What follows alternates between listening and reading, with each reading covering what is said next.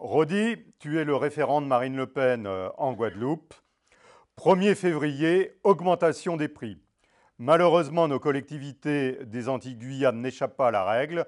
Augmentation du prix du carburant, de l'énergie, dont l'électricité. Que peux-tu nous dire sur le sujet? C'est un coup dur qui est porté euh, au porte-monnaie de nos compatriotes des Antilles et de la Guyane.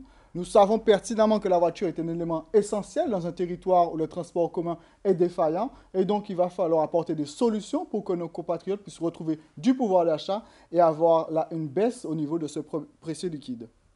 Oui, comme on le sait, déjà le panier de la ménagère connaît, est beaucoup plus élevé outre-mer qu'en métropole. Et euh, à ce titre, nos compatriotes ultramarins sont déjà euh, euh, pénalisés.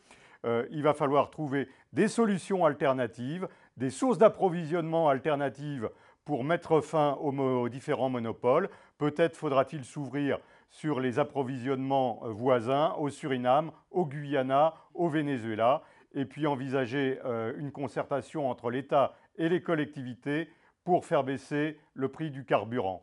Ces mesures figureront dans le programme de Marine Le Pen pour l'outre-mer.